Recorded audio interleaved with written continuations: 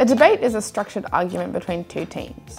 The team that agrees with the topic is called the affirmative team, and the team that disagrees is called the negative team. Debating isn't a new idea. It's dated back to ancient Greece, where people would stand up on podiums and talk about philosophy. And now we see debating everywhere. We see it in the media, we see it with our politicians, and even down to arguments between parents and their children. The most common type of formal debating happens in schools. This can take shape from year three all the way up into year 12 in both social and competitive contexts. So there are multiple types of debates. The most common one is what is known as a policy debate. And you can tell that it's a policy debate by the word should in the topic. So a policy debate involves the affirmative team providing us with a policy to change the present situation, also known as the status quo.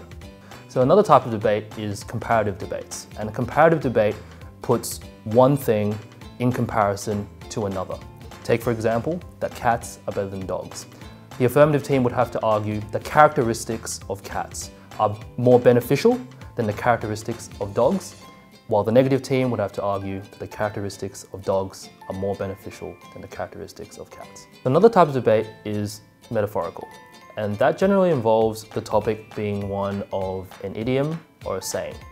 Take for example, that the carrot is better than the stick. The way to approach a metaphorical topic is to look at the topic in its relevant context. We're not talking about the carrot being a vegetable and the stick being a stick and making a comparison there. Instead, we're saying that certain incentives and certain motivations should be put towards certain groups of people in society.